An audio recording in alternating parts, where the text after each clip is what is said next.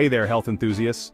Today I'm diving into a truly exciting frontier in medical science, exosome treatments in Seoul, South Korea, specifically at Gangnam Medical Center and Cell for You Seoul Clinic. So, what are exosomes? They're tiny nano-sized vesicles secreted from cells. Think of them as little messengers packed with regenerative and immune-regulating goodies. These exosomes are showing incredible potential in treating various diseases, especially those tough, intractable ones like Parkinson's and acute stroke.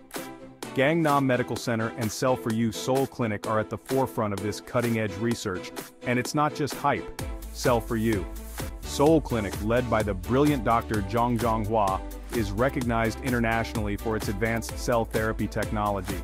They've been making waves in treating cancer, neurological diseases, and joint issues by combining NK cell therapy with stem cell therapy. Now they're focusing their efforts on developing new treatments using exosomes. Imagine using these tiny vesicles as disease diagnostic tools, drug delivery vehicles, and even as regenerative therapies. It's groundbreaking stuff.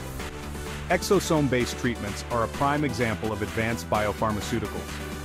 By separating and purifying these extracellular vesicles from living cells, researchers are opening new doors in medicine. The potential here is mind-blowing. The work being done at these Cell for You Seoul Clinic is expected to revolutionize the treatment of various intractable diseases. And beyond just improving health outcomes, it's a significant contribution to the entire biomedical field, so Keep your eyes peeled on exosome treatments coming out of Seoul. This is just the beginning of a new era in medical science. Thanks for watching and stay healthy.